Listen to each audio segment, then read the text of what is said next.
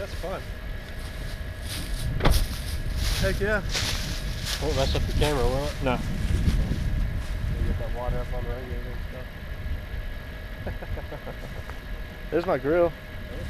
Good. Yeah. Actually, hold up. Not shiny anymore. No. Now it's gonna start squeaking the belt. Every time it gets wet. It'll dry out. If I run it through a car wash, it'll start squeaking. It'll dry out. Heck yeah. I'll put in there. Are there any other holes like that? Uh, I can't remember. I don't think so. There's a huge one, which my rig people make it through. Uh-huh. don't know if that's there. That's Yeah. 422A. I think that's the biggest one here. There might be one. Sweet.